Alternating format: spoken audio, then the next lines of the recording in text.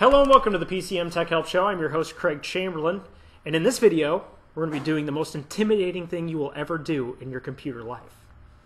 Not really. You're installing memory, okay? This used to be a scary thing.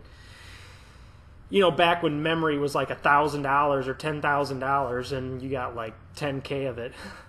Only my fellow nerds will understand that. But anyways, I'm going to be doing it the overly proper way. This is my static wrist strap. I've gotten yelled at for not wearing this on previous videos. So here it is. I've got it. You want to make sure it's getting grounded. Let's trace all it. Look to this, and this is actually grounded to our transformer ground outside. So I am officially grounded. But for those of you who are actually going to be doing this, you don't need anything this dramatic at your local hardware store. My cameraman was making fun of me for this. You can actually just get a wrist strap like a buck, two dollars.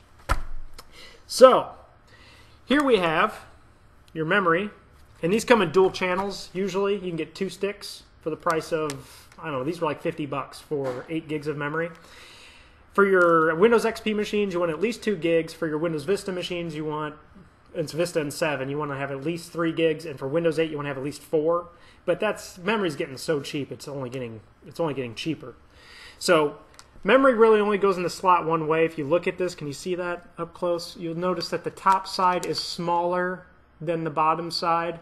So really the memory is only going to fit in the slot on your motherboard one way.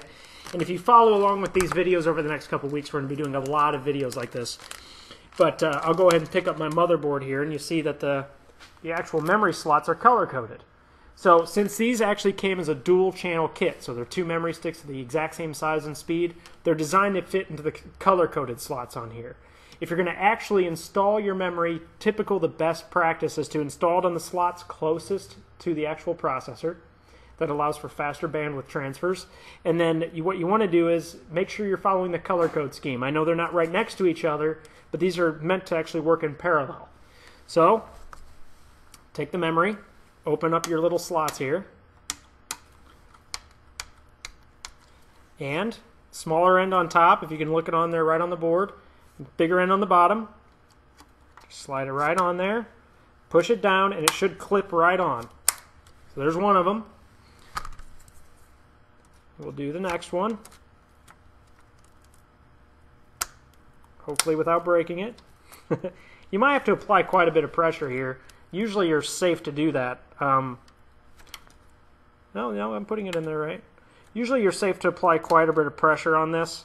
Just make sure you're not, you start to hear cracking, that's when you want to get nervous. So that's it. I've successfully installed my memory on this motherboard, and that's all there is to this video. Installing memory is not that hard. It only really goes in one place on your motherboard. It's not like you can open it up and start sticking it in random slots. It just won't fit.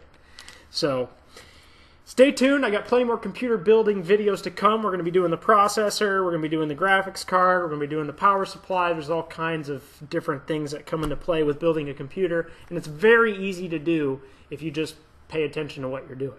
So stay tuned. And as always, if you like this video, make sure you thumb up Thumb it. if You like it? Do they do th- likes? That's it. Like they stopped doing the ratings. Thumb it up if you liked it. Follow me on Facebook or follow me on Twitter. And if you have any questions, leave them in the comments below. I always appreciate your comments. Stay tuned. I'll see you in the next video.